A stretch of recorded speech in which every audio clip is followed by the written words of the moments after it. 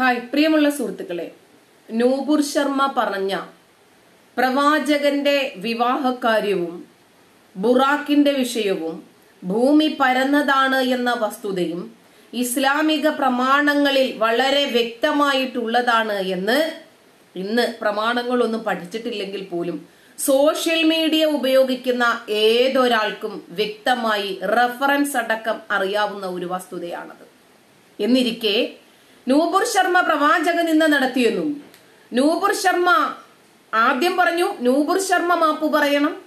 Nupur Sharma post പിൻവലിക്കണം. പിന്നീട് ഒരുപാട് അറബ് രാജ്യങ്ങൾ മുന്നോട്ട് വന്നിട്ട് ഇന്ത്യ ഒട്ടാകെ മാപ്പ് പറയണം. നൂപുർ ശർമ്മ ഒരാളിന്റെ മാപ്പൊന്നും പോരാ. അത് കഴിഞ്ഞിട്ട് മറ്റൊരു നേതാവ് നൂപുർ ശർമ്മയുടെ മുഖം മാത്രം കൊണ്ട് മാപ്പ് പറഞ്ഞാൽ പോരാ ശരീരം കൊണ്ട് മാപ്പ് പറയണം. അങ്ങനെ വ്യത്യസ്തമായ അഭിപ്രായങ്ങളും നിലപാടുകളും പ്രസ്താവനകളും നിലനിൽക്കുന്ന സാഹചര്യത്തിലാണ് സുപ്രീം കോടതി ഉദയപൂരിലെ രാജസ്ഥാനിലെ ഉദയപൂരിൽ നടന്ന കനയ്യലാലിന്റെ കൊല കൂടി നൂപുർ ശർമ്മയുടെ തലയിൽ വെച്ചു കെട്ടിയതോടെ നമ്മൾ പ്രതീക്ഷിച്ചിരുന്നു. ഇതിനിയും ആവർത്തിക്കും. ഈ കുറഞ്ഞ ദിവസങ്ങൾക്കുള്ളിൽ മൂന്നാമത്തെ അരുംകൊലയും ദാ സംഭവിച്ചു കഴിഞ്ഞു. ഒന്ന് മഹാരാഷ്ട്രയിൽ ഉമേഷ് പ്രഹ്ലാദ റാവു എന്ന് പറയുന്ന വ്യക്തിയാണ് കൊന്നത്. രണ്ടാമത് രാജസ്ഥാനിലെ ഉദയ്പൂരിൽ കനയ്യലാൽ എന്ന് പറയുന്ന തയ്യൽ തൊഴിലാളിയെയാണ് കൊല ചെയ്തത്. ഇപ്പോഴിതാ മൂന്നാമത്തെ കൊലയും സംഭവിച്ചു കഴിഞ്ഞു. ഇതും ഇനിയും സുപ്രീം കോടതി നൂപുർ ശർമ്മയുടെ തലയിൽ തന്നെ കെട്ടിവെച്ച് വേട്ടക്കാർക്ക് അടുത്ത കൈപ്പിടി കത്തിയിൽ ഒതുക്കാനുള്ള ഒരു സൗകര്യം ചെയ്തു കൊടുക്കുമോ എന്നറിയില്ല. കേൾക്കാം എന്താണ് സംഭവിച്ചത്. ഈ മൂന്നാമത്തെ കൊല നടന്നത് അയോധ്യയിലാണ്. കത്തിക്കും. അയോധ്യയിൽ വീണ്ടും അരുംകൊല പത്തു ദിവസം മൂന്ന് വർഗീയ കൊലപാതകങ്ങൾ. ഒരേ സ്വഭാവത്തിലുള്ള മൂന്ന് കൊലപാതകങ്ങൾ. മൂന്നിന്റെയും കാരണവും ഒന്ന്.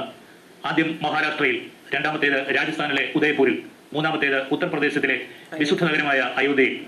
നമ്മുടെ രാജ്യവും തീവ്രവാദ മനസ്സുകളും മനുഷ്യത്വം നശിച്ച മനോരോഗികളും കീഴ്പ്പെടുത്തുകയാണോ? അങ്ങനെ ചിന്തിക്കുവാനുള്ള സമയം അതിക്രമിച്ചിരിക്കുന്നു.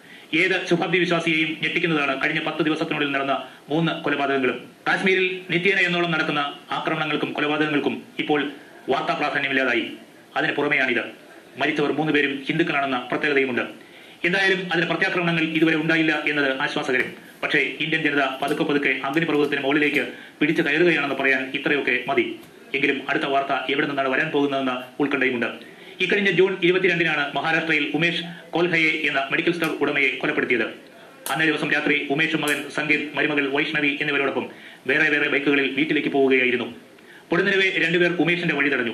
പിന്നെ കഴുത്തിൽ അഞ്ചിഞ്ച് നീളമുള്ള ചൈനീസ് കത്തികൊണ്ട് കുത്തുകയായിരുന്നു. രക്തം വാർന്നൊഴുകി സംഭവ സ്ഥലത്ത് തന്നെ ഉമേഷ് മരിച്ചു. കൊലപാതകത്തിൽ കൃത്യമായ ഒരു പ്രൊഫഷണലിസം ഉണ്ടായിരുന്നുവെന്ന് പോലീസ് സമ്മതിക്കുന്നുണ്ട്. ഒരാഴ്ചയായി ഉമേഷിനെ അക്രമികൾ നിരീക്ഷിച്ചു വരികയായിരുന്നു. പിന്നീടാണ് കൊലപാതകം നടത്തിയത്. ഉമേഷിന്റെ മകനും മരുമകളും ഓടിയെത്തിയെങ്കിലും അക്രമികൾ ഇരുട്ടിൽ മറഞ്ഞു. വ്യാപാരിയായിരുന്ന ഉമേഷിന്റെ കൈവശമുണ്ടായിരുന്ന പണം മോഷ്ടിക്കാനായിരുന്നു അക്രമം നടത്തിയതെന്നായിരുന്നു ആദ്യ അന്വേഷണത്തിൽ പുറത്തുവന്ന വിവരം. അതിനുവേണ്ട തെളിവുകളാണ് ലഭിച്ചത്. പിന്നീടാണ് യഥാർത്ഥ ചിത്രം വ്യക്തമാകുന്നത്. മതം നിന്ന് നടത്തിയെന്ന് ആരോപിക്കപ്പെടുന്ന നൂർ ശർമ്മയെ ഉമേഷ് പിന്തുണച്ചതായിരുന്നു കാരണം. ഇതുമായി ബന്ധപ്പെട്ട് ക്രൈംബ്രാഞ്ചും കോട്ട്വാലി സിറ്റി പോലീസും ആദ്യം അഞ്ചു പേരെ അറസ്റ്റ് ചെയ്തിരുന്നു. ഇർഫാൻ ഖാൻ മുദാസിർ അഹമ്മദ് ഷെയ്ഖ് ഇബ്രാഹിം ഷാരൂഖ് പത്താൻ ഇനായത് ഖാൻ അബ്ദുൾ തൗഫിഖ് എന്നിവരെയാണ് അറസ്റ്റ് ചെയ്തത്. ഇവർ ആദ്യം പറഞ്ഞത് മോഷണത്തിന് വേണ്ടിയാണ് കൊലപാതകം നടത്തിയതെന്നാണ്. എന്നാൽ ഇതിനിടയിൽ മൃഗഡോക്ടറായ യൂസഫ് ഖാൻ എന്നൊരാൾ രംഗത്ത് വരുന്നു. ഉമേഷിനെ കൊല്ലാൻ ഇയാളാണ് മറ്റുള്ളവരെ പ്രേരിപ്പിച്ചതെന്ന് നേരത്തെ പോലീസ് സംശയിക്കുന്നുണ്ടായിരുന്നു. നൂർ ശർമ്മയെ പിന്തുണച്ചുകൊണ്ട് ഉമേഷ് വാട്സ്ആപ്പ് സന്ദേശം പങ്കുവച്ച ഗ്രൂപ്പിൽ യൂസഫ് ഖാൻ ഉണ്ടെന്നാണ് കണ്ടെത്തൽ. ഇതേ യൂസഫ് ഖാൻ രണ്ടായിരത്തി ആറ് മുതൽ ഉമേഷിന്റെ ഉറ്റ സുഹൃത്തായിരുന്നു എന്നതാണ് ആരെയും ഞെട്ടിച്ചത്. ഇവർ എല്ലാ ദിവസവും തമ്മിൽ കാണുകയും സൗഹൃദം പങ്കുവയ്ക്കുകയും ചെയ്യുന്നവരായിരുന്നു. എന്തായാലും ഈ കൊലപാതകത്തിന് പിന്നിൽ തീവ്രവാദികളാണെന്ന് ഇപ്പോൾ എല്ലാവർക്കും ബോധ്യമായിരിക്കുന്നു. സംഭവം ഇപ്പോൾ മഹാരാഷ്ട്ര രാഷ്ട്രീയത്തെയും പിടിച്ചു കുലുക്കുന്നുണ്ട്. ഉമേഷിന്റെ കൊലപാതകം നടന്ന് അഞ്ച് ദിവസം പിന്നിടുമ്പോഴാണ് തയ്യൽക്കട നടത്തുന്ന കനയ്യലാൽ എന്നയാൾ തീവ്രവാദികൾ കടയിൽ കയറി ഇറച്ചു വെട്ടുന്ന കത്തികൊണ്ട് കഴുത്ത് വെട്ടി കൊലപ്പെടുത്തിയത്. നൂപുർ ശർമ്മയെ സാമൂഹ്യ മാധ്യമങ്ങളിൽ പിന്തുണച്ചു എന്നതാണ് കുറ്റമായി ചൂണ്ടിക്കാണിച്ചതും. ഇവിടെയും കൊല നടത്തിയത് പരസ്പരം അറിയാവുന്നവരാണെന്നത് അത്ഭുതകരമായി തോന്നാം. ഇവിടെ കൊല ചെയ്യുക മാത്രമല്ല അതിന്റെ ചിത്രങ്ങൾ കൂടി പ്രതികൾ പങ്കുവച്ചിരുന്നു. പോലീസ് പ്രതികളെ അറസ്റ്റ് ചെയ്തു എന്നതും അതിന്റെ പേരിൽ ആരും പ്രതികാരം ചെയ്യാൻ ഇതുവരെ രംഗത്ത് വന്നില്ല എന്നതും സമാധാനം നൽകുന്നു. ഇതായിപ്പോൾ ഉത്തർപ്രദേശിലെ അയോധ്യയിൽ ക്ഷേത്ര ക്ഷേത്രനടയിൽ കിടന്നുറങ്ങിയിരുന്ന മറ്റൊരാളും കൊല ചെയ്യപ്പെട്ടിരിക്കുന്നു. ഇവിടെയും കഴുത്തറത്താണ് കൊല നടത്തിയിരിക്കുന്നത്. അയോധ്യ ജില്ലയിലെ പൂവാപൂർ ഗ്രാമത്തിലുള്ള ഹനുമാൻ ക്ഷേത്ര പരിസരത്തെ പ്ലാറ്റ്ഫോമിൽ ഇയാൾ കിടന്നുറങ്ങുകയായിരുന്നു. അമേരി സ്വദേശിയായ മുപ്പത്തിയഞ്ചുകാരൻ പങ്കജ് ശുക്ലയാണ് ഈ ഹതഭാഗ്യൻ കൊലപാതക കാരണം ഇതുവരെ വ്യക്തമായിട്ടില്ല. വീട്ടിൽ അസഹ്യമായ ചൂടായിരുന്നതിനാൽ ഫാനുള്ള ക്ഷേത്ര പ്ലാറ്റ്ഫോമിൽ ഉറങ്ങാൻ വന്നതായിരുന്നു ഇയാൾ. അമേരി സ്വദേശിയാണെങ്കിലും ക്ഷേത്ര പരിസരത്തുള്ള അമ്മാവിന്റെ വീട്ടിലായിരുന്നു കഴിഞ്ഞ രണ്ടു മാസമായി ഇയാൾ താമസിച്ചിരുന്നത്. പോലീസ് അന്വേഷണം നടത്തിവരുന്നു. ഇത്രയും ഇവിടെ വിശദീകരിച്ചത് ഈ മൂന്ന് കൊലപാതകങ്ങൾക്കും ചില സമാനതകളുണ്ടെന്നുള്ളതുകൊണ്ട് ആദ്യ രണ്ട് കൊലപാതകങ്ങളിൽ മരിച്ചയാളുടെ പരിചയക്കാർക്ക് മുഖ്യ പങ്കുണ്ടായിരുന്നു. കൊലപാതകത്തിന്റെ രീതികളിലും സമാനതകളുണ്ട്. കഴുത്തിനായിരുന്നു വെട്ടും കുത്തും. ഇവിടെ പങ്കജ് കൊന്നവർക്ക് അയാളെ അറിയാമായിരുന്നു എന്ന് വ്യക്തമല്ല. അതൊക്കെ ഇനി അന്വേഷണത്തിലൂടെ പുറത്തു വരേണ്ട കാര്യങ്ങളാണ്. ഇയാൾ നൂർ ശർമ്മയെ പിന്തുണച്ച ആളാണോ എന്നും വ്യക്തമല്ല. അതൊക്കെ വരും നാളുകളിൽ പുറത്തു വരുമായിരിക്കും. വരട്ടെ. കൊലപാതകത്തിന്റെ സ്വഭാവവും രീതികളും വ്യക്തമാക്കുന്നത് കൊലപാതകം മാത്രമല്ല ഭീതിപ്പെടുത്തൽ കൂടി ഉദ്ദേശിക്കുന്നുണ്ടെന്ന്. ആരെ ഭയപ്പെടുത്താനാണിത്? അത് മാത്രം വ്യക്തമല്ല. ഒരു കാര്യത്തിലാണ് സമാധാനം. ഈ മൂന്ന് കൊലപാതകങ്ങളുടെയും പ്രതികരണങ്ങൾ മറുഭാഗത്ത് നിന്ന് ഉണ്ടായിട്ടില്ല എന്നുള്ളതാണത്. അതിന് കാരണങ്ങൾ കാണുമായിരിക്കും. അങ്ങനെ ഒന്ന് സംഭവിച്ചാൽ നമ്മുടെ നാടിന്റെ സ്ഥിതി എന്താകും? നൂപർ ശർമ്മ പ്രവാചകൻ നടത്തി എന്നത് സംബന്ധിച്ചാൽ പോലും അതിനെതിരെ രാജ്യത്തിനകത്തും പുറത്തും നിന്ന് വന്ന പ്രതികരണങ്ങൾ തന്നെ അധികമാണ്. നൂപർ ശർമ്മയ്ക്കും അതിൽ വ്യക്തിപരമായ നഷ്ടങ്ങൾ സംഭവിച്ചു. അവരുടെ വക്താവ് സ്ഥാനം മാത്രമല്ല പാർട്ടി അംഗത്വവും പോയി. ഇപ്പോൾ ബി ജെ പി അവരെ ന്യായീകരിക്കുന്നില്ല. അവർ രാജ്യത്തോടും മുസ്ലിം സമുദായത്തോടും മാപ്പ് പറയുകയും ചെയ്തു. സമൂഹ മനസ്സിൽ നിന്ന് അത് ഏറെക്കുറെ മാഞ്ഞു തുടങ്ങിയതുമാണ്. എന്നാൽ ആ വിഷയത്തെ സജീവമായി നിലനിർത്താനാകും ഈ കൊലപാതക പരമ്പരകൾ തൽപരകക്ഷികൾ തുടരുന്നത്. എന്തായാലും തീക്കൊള്ളി കൊണ്ടുള്ള തലച്ചോറിച്ചിലാണിത്. ഒരു രാജ്യത്തിന്റെ ആകെ സമാധാനവും സ്വയ ജീവിതവും അത് തകർക്കും. ആഭ്യന്തരവും ബാഹ്യവുമായ വെല്ലുവിളികൾ വൻതോതിൽ നേരിടുന്ന ഒരു രാജ്യമാണ് ഇപ്പോൾ ഇന്ത്യ. അതിനപ്പുറത്ത് തൊഴിലില്ലായ്മയും സാമ്പത്തിക മാന്ദ്യവും ഉൾപ്പെടെയുള്ള ഗൗരവമുള്ള പ്രശ്നങ്ങൾ നമ്മുടെ രാജ്യം ഒരുപാട് സാമ്പത്തിക പ്രതിസന്ധിയിലും തൊഴിലില്ലായ്മയിലും കടക്കെണിയിലും ദാരിദ്ര്യത്തിലും ഒക്കെ തന്നെയാണ് പൊയ്ക്കൊണ്ടിരിക്കുന്നത്. അതൊന്നും ചില ആളുകളെ ബാധിക്കുന്ന വിഷയമേ അല്ല. പട്ടിണി കൊണ്ട് ഒരു ഭാഗത്തും മനുഷ്യൻ മരിക്കുമ്പോഴും കടബാധ്യത കാരണം മറുഭാഗത്താളുകൾ ആത്മഹത്യ ചെയ്യുമ്പോഴും പ്രളയവും മറ്റു പ്രകൃതി ദുരന്തങ്ങളും പകർച്ചവ്യാധികളും ഒക്കെ രാജ്യത്തെ വേട്ടയാടുമ്പോഴും ഇതൊന്നും തങ്ങളെ ബാധിക്കുന്ന പ്രശ്നമേ അല്ല. തങ്ങൾക്ക് കെ എം ഷാജി പറഞ്ഞതുപോലെ മതമാണു മതമാണു മതമാണു ഞങ്ങളുടെ പ്രശ്നം. ഞങ്ങളുടെ ആത്യന്തികമായ പ്രശ്നം മതമാണ്. ദാരിദ്ര്യത്തെക്കുറിച്ച് ഞങ്ങളെ സംബന്ധിച്ചിടത്തോളം വിഷയമേ അല്ല. തൊഴിലില്ലായ്മയും പട്ടിണി മരണങ്ങളും ദാരിദ്ര്യവും പരാജയത്തിലേക്ക് കൂപ്പികുത്തു കൂപ്പുകുത്തിക്കൊണ്ടിരിക്കുന്ന ഒരു ജനതയും ഇതൊന്നും ഞങ്ങളെ ബാധിക്കുന്ന വിഷയമേ അല്ല. ഞങ്ങൾക്ക് ഏതേത് സാഹചര്യങ്ങളിലും സർവശക്തനായ ദൈവത്തിന്റെ മതം പ്രാവർത്തികമാക്കാനും അത് വിജയിപ്പിക്കാനും ലോകം മുഴുവനും ആ മതത്തിൽ മാത്രം വിശ്വസിക്കുന്ന ഒരു ജനതയെ വാർത്തെടുക്കാനും സാധിക്കണം. അതിനുവേണ്ടി ഇറങ്ങിത്തിരിച്ചിരിക്കുന്നവരാണിത്. ഇപ്പോ വളരെ ചുരുങ്ങിയ ദിവസങ്ങൾക്കുള്ളിൽ തന്നെ പ്രവാചക നിന്നെ ആരോപിക്കുന്ന മൂന്നാമത്തെ കൊലപാതകമാണിത്. ഇത് പ്രവാചക നിന്ന തന്നെയാണോ എന്നറിയില്ല. സമാനമായ സാഹചര്യങ്ങളിലെ കൊലകൾ ഇതെല്ലാം പ്രത്യേകിച്ച് എന്തെങ്കിലും ഒരു വൈരാഗ്യത്തിന്റെ പേരിൽ ചെയ്തതല്ല ഈ മൂന്ന് കൊലകളും. ഈ മൂന്നും അറിയുന്ന ആളുകൾ തന്നെയാണ് ചെയ്തിരിക്കുന്നത്. ഈ വ്യക്തികളെ അറിയുന്നവർ.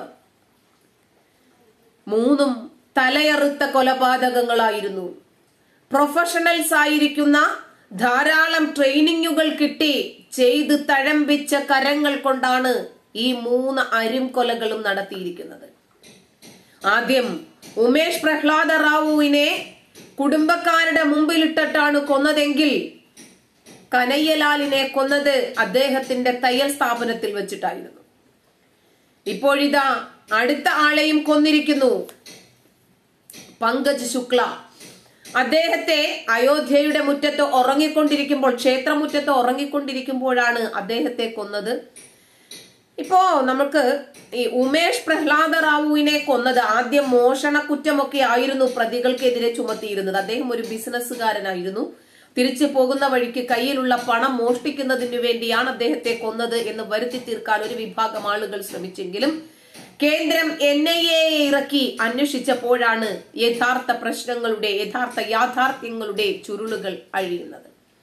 അങ്ങനെയാണ് ഇവർ കൊന്നത് നൂപുർ ശർമ്മ എന്ന് പറയുന്ന മുൻ ബി ജെ പി വക്താവിനെ പ്രവാചക നിന്നെ ആരോപിച്ച വ്യക്തിയെ ഇസ്ലാമിസ്റ്റുകൾ മുഴുവനും മാപ്പ് പറയണം എന്ന് ആവശ്യപ്പെട്ട വ്യക്തിയെ പതിനാറോളം ഇസ്ലാമിക രാജ്യങ്ങൾ മാപ്പ് ആവശ്യപ്പെട്ട ഇന്ത്യയുടെ പ്രതിനിധി ഇവർ കാരണമാണല്ലോ മാപ്പ് ചോദിക്കുന്നത്.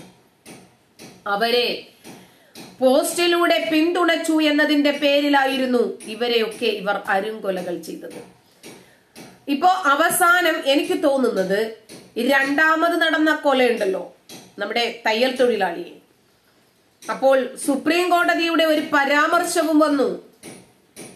ഇനിയും ഇതും നൂപുർ ശർമ്മയുടെ തലയിൽ തന്നെ ആകുമോ? ഇനി വരാനിരിക്കുന്ന യഥ- യഥേഷ്ടം ആഭ്യന്തര കലാപങ്ങളും കൊലകളും കൊള്ളകളും ഇവരുണ്ടാക്കുന്ന സകലമാന തീവ്രവാദ പ്രവർത്തനങ്ങളുടെയും കർത്താവ് ആരായി മാറും എന്നത് കണ്ടു തന്നെ അറിയണം.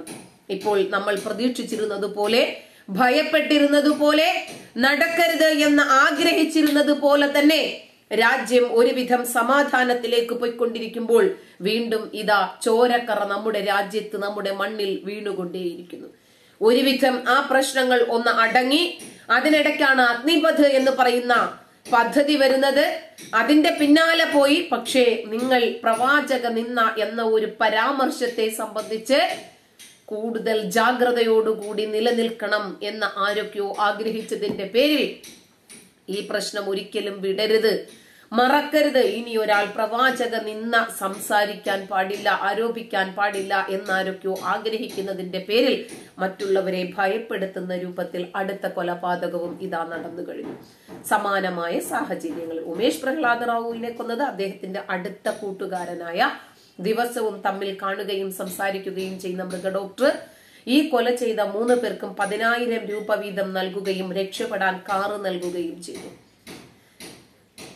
സ്വന്തം സുഹൃത്ത് അതാ ഞാൻ പറയുന്നത്. ഇന്നത്തെ മിത്രമായിരിക്കും ഒരുപക്ഷെ നാളത്തെ ശത്രുവായിരിക്കുന്നത്. അതുകൊണ്ട് ശത്രു നമ്മളെ എതിർത്തേ വരൂ. മിത്രം നമ്മളെ അനുകൂലിച്ചേ വരൂ. അതുകൊണ്ട് മിത്രത്തെയാണ് കൂടുതൽ സൂക്ഷിക്കേണ്ടത്. ഇന്നൊരു മനുഷ്യനെ കൊല്ലാൻ ഒരുപാട് സാഹചര്യങ്ങൾ ഉണ്ടായിരിക്കെ. ഒരുപാട് ആധുനിക സംവിധാനങ്ങൾ ഉണ്ടായിരിക്കെ. എന്തുകൊണ്ടാണ് ഇവർ കത്തിയും വാളും തന്നെ എടുക്കുന്നത്? എന്തിനാണ് ഇവർ പകൽ സമയം തന്നെ എടുക്കുന്നത്? എന്തിനാണ് ഇവർ പറഞ്ഞും ഭീഷണിപ്പെടുത്തിയും പബ്ലിക്കിൽ ഡിക്ലെയർ ചെയ്തും ഈ വ്യക്തികളെ കൊല്ലുന്നത്? ഭയപ്പെടുത്താൻ. അതെ അവരുടെ ലക്ഷ്യം ഏതാണ്ട് സാക്ഷാത്കരിക്കപ്പെട്ടു കഴിഞ്ഞു. ജനങ്ങൾ ഭയന്നു കഴിഞ്ഞു. ജീവൻ ഒന്നേ ഉള്ളൂ ജീവിതവും ഒന്നേ ഉള്ളൂ. ജീവിച്ചു കൊതി തീർന്ന ആളുകൾ തുലവും തുച്ഛമായിരിക്കും. എല്ലാവർക്കും ഇനിയും ജീവിക്കണം കുറച്ചുകൂടി സുന്ദരമായ ഭൂമിയിൽ. ഇനിയൊരു ജന്മം നൽകിയിടുമോ എന്ന് ചോദിക്കില്ലേ എന്ന് പറഞ്ഞതുപോലെ എല്ലാവർക്കും ഈ ഭൂമിയിലെ സുഖ സൗകര്യങ്ങൾ ആസ്വദിച്ചുകൊണ്ട് ജീവിക്കാൻ ആഗ്രഹമുണ്ട് എന്നിരിക്കെ. തന്റെ ജീവൻ പോലെ തന്റെ വേദന പോലെ തന്റെ തീരാ നഷ്ടം പോലെ തന്നെയാണ് അദ്ദേഹത്തിനും ഒരു കുടുംബമുണ്ട് ആഗ്രഹമുണ്ട് സ്വപ്നങ്ങളുണ്ട് എന്ന് ചിന്തിക്കാതെ ഇത്തരം പ്രവൃത്തി ചെയ്യുന്ന കാപാലികർക്ക് ഒരൊറ്റ ലക്ഷ്യമേ ഉള്ളൂ സ്വർഗം. ആ സ്വർഗം കിട്ടുമെന്ന് പറഞ്ഞാൽ മാതാവിന്റെ കഴുത്തിൽ പോലും ഇവർ കത്തിവെക്കും. അത് നിങ്ങൾക്ക് താനേ തെളിയുമെന്ന് വിചാരിക്കുന്നു. നന്ദി.